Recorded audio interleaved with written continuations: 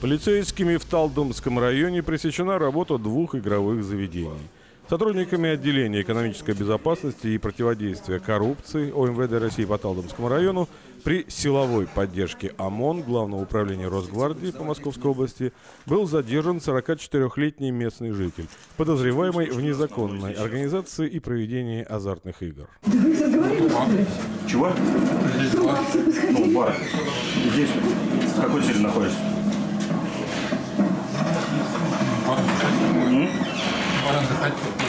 Верно?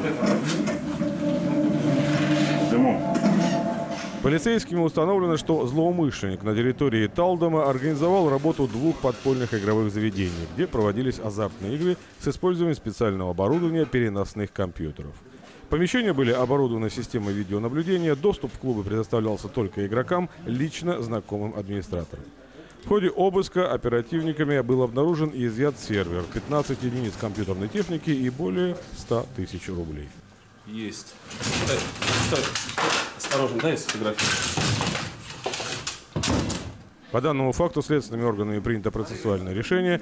Подозреваемому избрана мера пресечения в виде подписки о невыезде и надлежащем поведении.